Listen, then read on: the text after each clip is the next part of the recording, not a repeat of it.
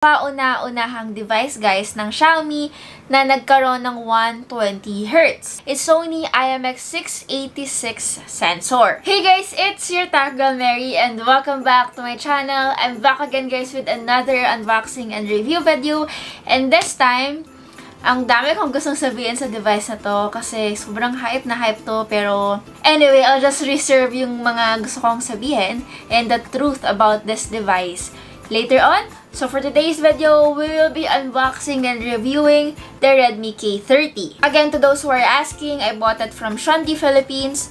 And yung warrant na meron ako guys, this one is the 8GB of RAM with 128GB of internal storage. Bago tayo mag-proceed guys sa unboxing and review, gusto ko lang pong ipaalala sa inyo that we still have an ongoing giveaway for the iPhone 10. iPhone 10. Kunin ko lang. Wait lang. Baka sabihin nyo scam to. This is the iPhone 10 and still guys, may giveaway pa rin tayo. Don't forget to join. And for the Huawei Y6S giveaway, kung napapanood nyo na to ngayon, I already announced the winner on my IG account. Anyway, on this video guys, sasagutin natin yung question if may upgrade nga ba talaga from the Redmi K20 tong Redmi K30 or kung totoo nga ba yung sinasabi ng iba na scam nga lang at hindi siya upgrade kung di downgrade. Pero first of all, ano nga ba yung mga specs nito na sobrang nagpa-hype sa kanya at usap-usapan siya ngayon sa tech world or tech industry. Unang-una, ito yung kauna-unahang device guys ng Xiaomi na nagkaroon ng 120Hz. Pangalawa, yung ginamit na sensor sa kanya sa camera is Sony IMX686 sensor. And lastly, of course, big battery and fast charger. So anyway, Bago ang lahat, bago tayo mag-proceed sa review ko, i-unbox muna natin itong Redmi K30. So guys, ganito yung itsura ng box ng Redmi K30. Yung pinakapangalan na Redmi K30, may pa-rainbow effect siya. Ayan guys, ba diba? Napakaganda. Maganda yung box niya, simple lang, pero dahil doon sa rainbow effect ng pangalan niya, naging nagmukhang mamahalan yung device kahit na, alam niyo yon always yan, pag Xiaomi, they give us the best, almost the best specs sa mulang, mulang. sa murang halaga lang. So, upon opening the device, of course, may panibago na naman tayong box. Sa loob, guys, meron tayong yung ating SIM ejector tool or yung mahiwagi nating panundot. And of course, meron tayong libreng jelly case and paperworks. And syempre guys, the phone itself. Ayan siya, napakaganda. Pero bago yung lahat, tingnan muna natin yung mga kasama.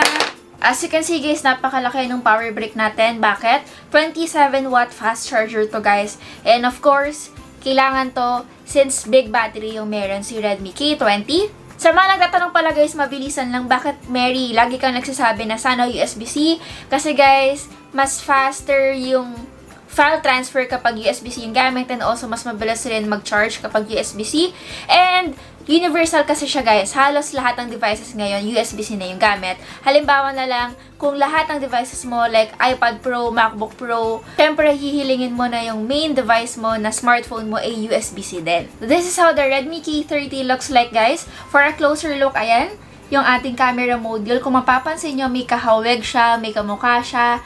Yes, hindi po kayo nagkakamali. Medyo hawig niya yung Huawei Mate 30 Pro. Bakit? Bilog din kasi case yung camera module. Pero, with the Redmi K30, same pa rin na pahaba yung pinaka-cameras niya. Pero yung pinaka-house niya, circle or round yung ginamit sa kanya. And we all know naman guys na kapag Xiaomi device, may mga inspiration talaga silang pinagkukuhanan. Like, halimbawa na lang Huawei, Samsung, yung double hole punch na meron to, kamukhang kamukha lang sa Samsung Galaxy S10 Plus. And guys, unang-una ko agad napansin sa device na to, nung unang ko siyang nahawakan, it is slightly bigger than your usual Xiaomi phones. Medyo malaki tong device na to, which makes it better siguro since syempre mas malaki yung display niya, mas masarap manood.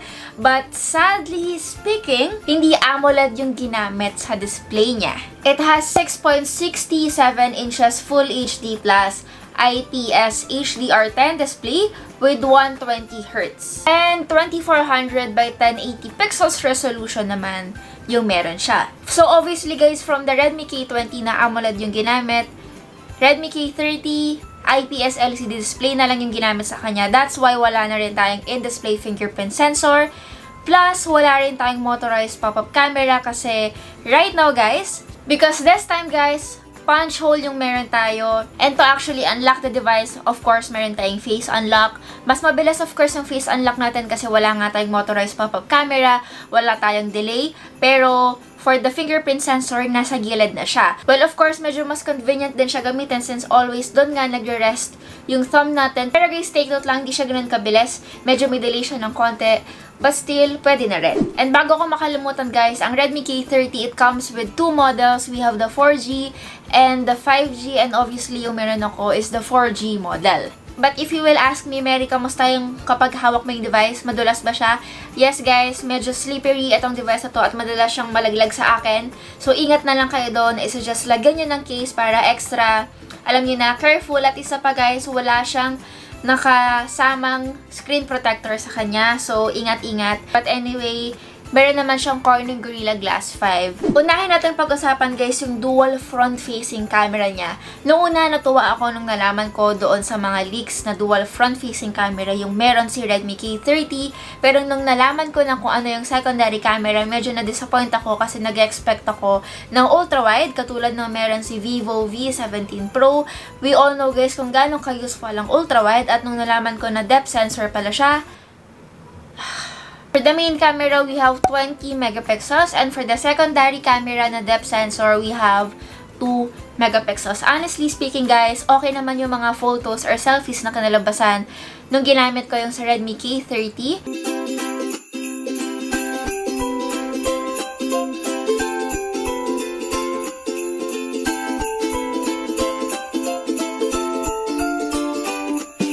And for the quad camera setup at the back, meron tayong 64 megapixel Sony IMX686 sensor for the main camera, 8 megapixels for the ultra-wide, 2 megapixels for the dedicated macro camera, and lastly, 2 megapixels for the depth sensor. We all know guys, kapag Xiaomi device, hindi camera dapat ang pinag-uusapan, kung hindi yung performance. Bakit? Kasi alam naman natin lahat guys na kapag Xiaomi, they always gives us na murang halaga na smartphone lang pero the best yung performance. Yung main camera, Sony IMX686 sensor, definitely hindi niya ako binigo. Maganda yung kinalabasan ng photos. Tamang-tama o sakto lang yung kulay. Although may mga times lang na overexposed. Ito minsan yung problema ko with Xiaomi.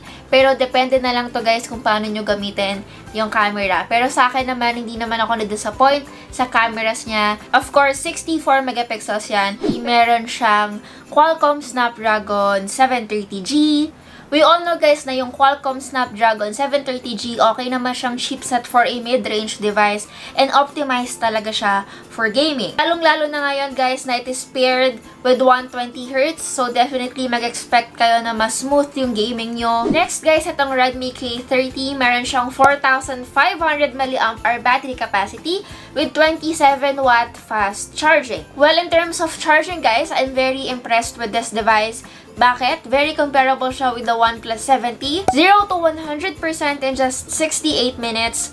Yun yung kinalabasan ng sa akin, guys. Kung tatanungin niyo ako, mabilis na yon. And yes, impressed ako sa battery capacity na meron na tong device na to. Kulang ang isang araw bago ko siya maubos. Some things na kailangan niyong malaman, meron siyang MIUI 11 with Android 10. Yes, guys, Android 10. Honestly guys, the switch from the AMOLED display to the IPS LCD display is quite disappointing. Viewing angles on this device, okay pa rin naman kahit hindi siya AMOLED and sobrang nipis lang ng mga bezels niya. But of course, guys, AMOLED is AMOLED. Kapag na-spoil na kayo ng AMOLED or Super AMOLED display, medyo mahirap nang bumalik sa IPS LCD display kasi medyo mas mahalata mo talaga yung difference nilang dalawa. Unang-una, ang dami nagsasabi, they will rather go for the Redmi K30. Etong, etong hawak ko, guys. Bakit? Syempre, wala siyang moving objects. Mas mahaba yung buhay niya according to them kasi nga, syempre, wala siyang motorized pop-up camera. And according to them, then, mas prone kasi sa burn-ins yung AMOLED display. So, mas maiksi na naman yung buhay. So, mas okay sa kanila yung IPS LCD display. But of course, knowing na yung predecessor niya, eh merong motorized pop-up camera, AMOLED display. At hindi na naman natin mapagkakaila guys how great 120Hz is. Guys, yung sa Asus ROG Phone 2 na nire-review ko right now, sobrang nakaka-spoil tong device na to. Napakaganda napakabilis. Pero nakakatuwa guys, na nagkaroon tayo ng 120Hz and 4,500 mAh battery capacity with 27 watt fast charging sa murang halaga lang. I got this device guys for like 14,000 or 14,500 pesos from Xiaomi Philippines. And the Asus ROG Phone 2 na meron ding 120Hz is around 50,000 pesos. Yun yung 1TB version yung meron ako. Hindi ko masabing downgrade siya at hindi ko rin masabing upgrade siya. Pero I just realized, alam niyo yun, masyado tayong demanding for a device. We want an AMOLED screen with Snapdragon 800 plus something sa halagang 15,000 pesos and below. So, ito na lang ang masasabi ko guys. If you are from the Redmi K20 or even from the Redmi K20 Pro, I don't really suggest that you upgrade to the Redmi K30. Pero, if you never had those two phones at gusto nyo bumili ng Redmi K30, I don't see anything wrong with that. Pwede nyong bilhin itong device na to. Lalong-lalo na kung hindi naman masyadong nagmamatter sa inyo yung display. Anyway, yun lang yung gusto kong sabihin sa device na to. At the end of the day, it depends pa rin sa kung ano yung kailangan natin sa isang smartphone. So, lang guys, it's your Tech Girl Mary and see you on my next video. Bye guys!